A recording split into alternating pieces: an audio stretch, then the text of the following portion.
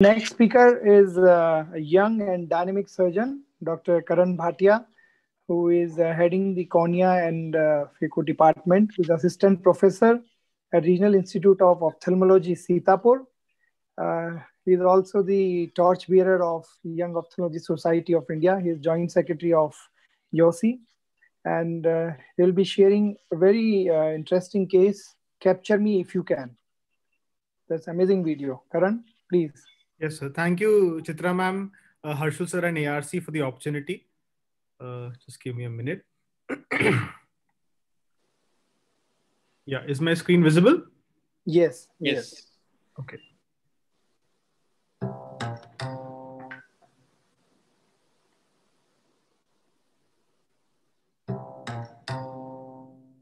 So this is a case of a pediatric traumatic cataract. So a four-year-old boy presented with a corneal scar, a traumatic cataract with ruptured Uh, lens Uh, Dr. Karan, uh, Yes, can sir. you decrease down the audio level? Yeah. Yeah, I'll just do that. Just. Yeah, yeah. Please restart and half the uh, music volume. Yeah. Please share again. Yes, sir. Yeah.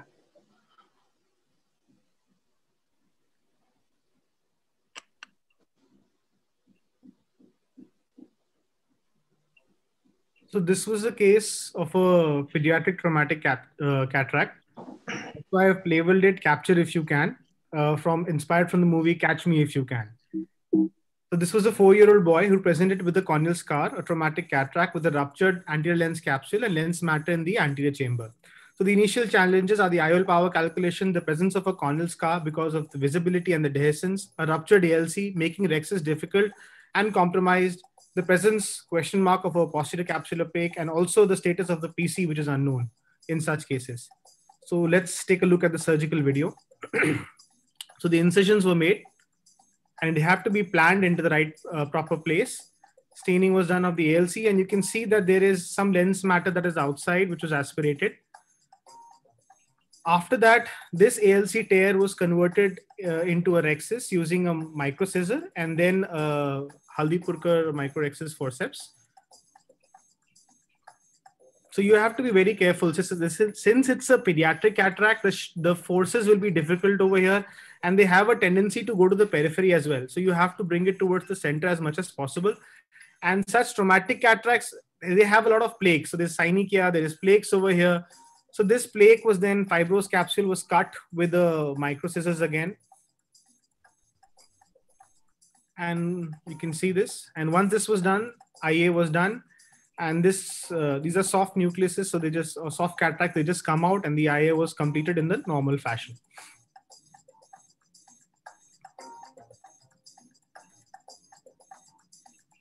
I prefer the bimanual, but you can see over here, there's a posterior synechiae. So this was broken and then there was a plaque over here. So this was cut with the micro scissors. And then again with the micro forceps, it was peeled away from the uh, posterior capsule. After injecting OVD, a three-piece IOL was implanted into the bag.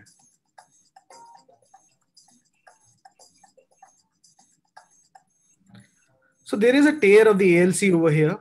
But still, I felt it was good enough. So after that, in such cases, it's, a pediatric eye, a small eye, a small uh, patient, uh, aged patient. So PPC was done because the patient will not cooperate for uh, Uh, a YAG capsulotomy later on. So there are two ways to do this. I do like doing this with a vitrectomy cutter. So this PPC was created. And then later on, this PPC was expanded on, as you can see. the IOL came out a bit, so it was again put in position, and you can see the anterior rhexis and the PPC, which was very nicely delineated. All the ports were sutured, which are mandatory in pediatric eyes. So this is what it looked like on POD1. There was a surprise. So this haptic was stuck at the iris and it came out because this is the area where the ALC was torn.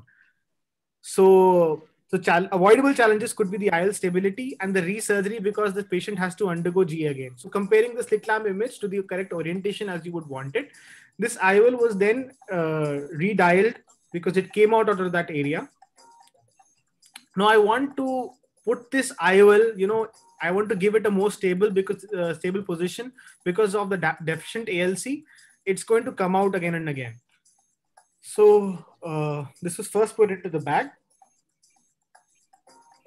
followed by this was captured behind the, the optic was captured behind the posterior capsule. So this gave a good stability to the eye and therefore it would not rotate now. This synechia, imagine it formed in POD1 itself. So this was then uh, closed. The case did pretty well. And uh, the patient had a BCVA of 6 by 6 and a UCVA of 6 by 9. He presented to me last week also, doing well. So long-term challenges are visual rehabilitation and amblyopia therapy in such cases. To conclude, IOL power calculation needs care. A 3-piece IOL is recommended. Pediatric cataracts PPC is recommended. Pediatric traumatic cataract with compromised anterior axis PP, uh, with PPC and uh, posterior optic capture is recommended and i would say that uh, you it's important to discuss with pediatric ophthalmologists such cases. You know they can give you uh, a lot of tips. And there is a need for early visual rehabilitation with glasses and amblyopia therapy which, is, which can be critical in such cases. Thank you so much. Can you stop? Excellent video dr karan. So many things to discuss. Is dr deepak with us? Dr deepak megur dr deepak is there or is uh, left? Mm. Not there, huh? Okay. Yeah, I think he's not there. Okay. Actually, uh, Dr. Karan, uh, no, Dr. Deepak has some wonderful uh, YouTube videos about how he has dealt with. I, I wanted him there for the next case. Uh, you know, that band which you cut, you know, uh, in these pediatric cataracts, these, when there is some element of, there's a trauma, there is a fibrosis, it actually makes sense not to cut the band. And already you had a rhexis extension. You could leave that band, cut it for the end, complete your rhexis because that sort of prevents the rhexis extension actually in the when you're doing that because these cataracts these capsules are so elastic. And uh, i wanted the opinion of the expert panel. I would prefer a pcc should be done manually than with a vitrector Absolutely. because a manual vitrector is, does is more resistant to stretch than uh, done with a vitrector than a manual pcc your thoughts? Chitra can i add Yes. Yes. Uh, I would 100% agree with you, Chitra. Manual posterior capsulorhexis is what I do. I don't do with the vitrector. The problem is with vitrector, you don't have any control. Yes. Okay? And whereas manual rhexis, definitely posterior capsulorhexis, the control is better. It is definitely stronger. And uh, otherwise, the case, I think all the other points he did so very well. Yes. Any question uh, on this? Of course, the PCC should not be large. Dr. Kumar wants to add something. Yeah. why didn't he do a posterior capture? Uh, why didn't he uh, capture the optic behind the PCC primarily? Karan, what was the age of the child? Another thing is, what was the Four years. Four years. Okay. Karan, why didn't you do that? Uh, sir, I was not very comfortable with it as, I, as one of the points that I have raised is I did then discussed, I rediscussed this case with my pediatric ophthalmologist, and then they give their tips. So that is one of the points that I had said discuss with your pediatric ophthalmologist and uh, any expert surgeon that is there who's better equipped to such cases, and then you can learn more. So I think less than less than six years, we always do a posterior uh, uh, primary capsulorhexis and we capture them. I remember Dr. Vasavada's paper where in the initial paper he had said that don't capture because it will cause a lot more uveitis. But the subsequent publications he said that with the with the newer lenses and the newer variety of lenses and haptics and optics now which are available we should always capture in the posterior capsulorhexis what is the size of the posterior capsulorhexis karan? Yes. It would be around more than 3.5 or 4 approximately 3.44 mm. It shouldn't be too large because the IOL uh, will not be stable yes. again. Yes. yes. One more thing is, did you do an anterior vitrectomy at the same time? Because no, you, know, the cutter, no? don't do anterior vit. No, he used the vitrectomy cutter. He would have done it. He yes. done it.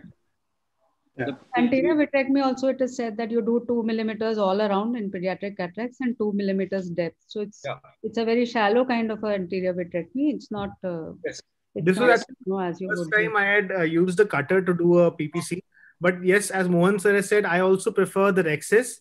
And I have another case of mine, which uh, because of the paucity of time, I couldn't show. There was a PPC with a plaque or something, adult case, where I have done to convert it with the Rhexis forceps only.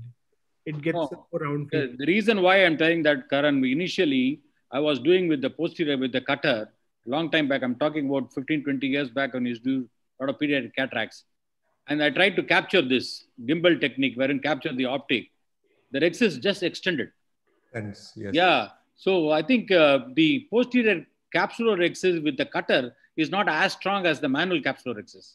If you don't have to do a capture, then you can do with. Then the, you can do that. Yes, you can do that. You have to use a cutter. I would be wary of uh, you know capturing it. Yes, absolutely. Absolutely. Dr. Gaurav, your thoughts on it? Because you had been into posterior uh, segment in the initial stages of your. I actually completely echo what you said just now. So I was going to say that, and then you stole those words. so I think, uh, but he showed a beautiful surgery, and I think take-home messages are all very clear.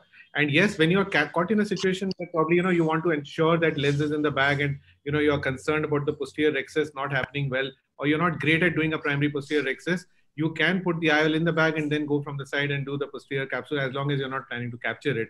But agreed completely that what you said uh, over there, Dr. Rohit. Yes. Good.